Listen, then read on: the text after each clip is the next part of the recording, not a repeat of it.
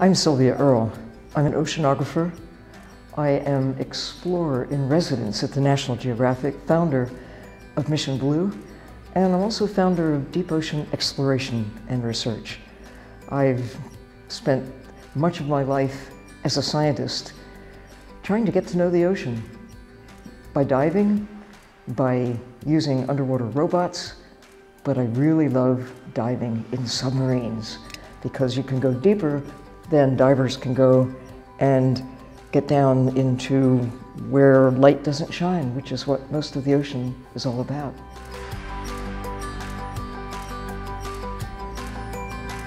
An oceanographer, quite simply, is a scientist who studies the ocean. You can be a biological oceanographer, which I tend to be, a physical oceanographer that really looks at more of the physical nature of the ocean, the waves, the tides, but I have come to understand that it all ties together. It's the bio geophysical nature of the world. Everything connects to everything else. But an oceanographer really focuses on the blue part of the planet in many dimensions.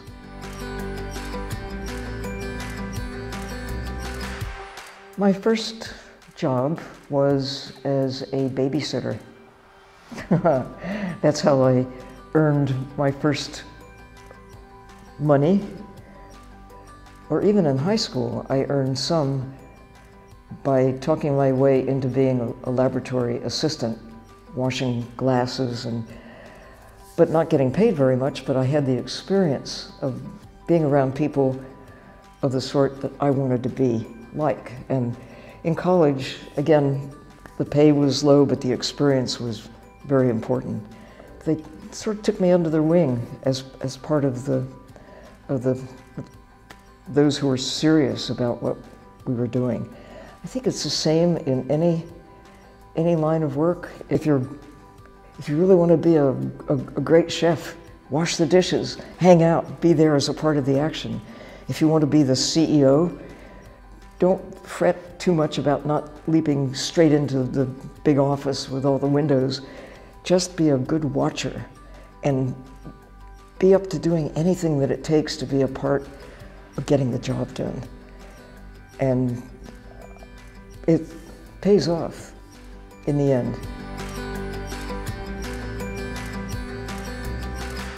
My current job is probably different from what most people would think of as a job.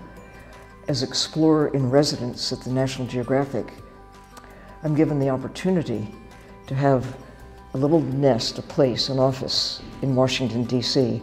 And they give me support to explore the ocean, but they leave it to me to figure out what that means, to come back with projects, expeditions, ideas. This is not just diving for the fun of it, although diving is always fun.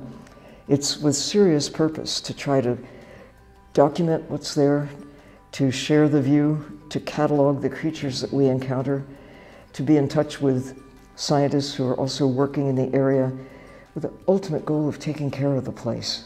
I mean, I am a scientist, first and foremost, observing carefully, reporting honestly what I see. So my job is to set an example, I suppose, and to try to communicate to the best of my knowledge what I see and maybe encourage others to do the same thing. That's part of my advice to everybody. Go explore. And if you don't like getting wet, then go get into a, go explore a desert. explore your backyard. Go climb a tree. Just don't get trapped in the thinking that what there is today has to be the way it always will be. You can make a difference, whoever you are.